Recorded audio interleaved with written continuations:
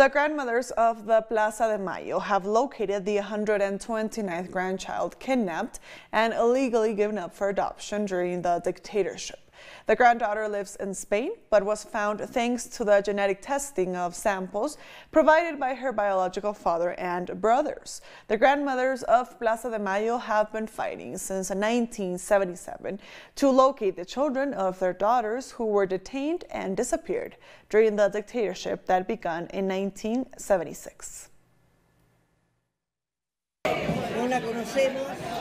We don't know her. We haven't met her, and she has only talked to our lawyers and to the members of the National Commission for the Right to Identity on their phone. We are very worried about her reaction, but I truly believe that they will be able to hug and be very happy to be able to meet each other. She will slowly get to know her family, her brothers, and the people who look for her. Our correspondent Edgardo Esteban has more. People are waiting excitedly here at the headquarters of the grandmothers of the Plaza de Mayo, where it was announced at a press conference that the grandchild number 129 has been found.